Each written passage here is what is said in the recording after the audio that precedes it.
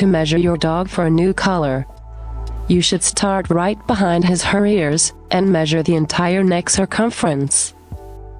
This measurement will work for all our collar models, including our martingale models. For the martingales do not try to guess the total length of the collar, just use your dog's neck measurement to pick the size.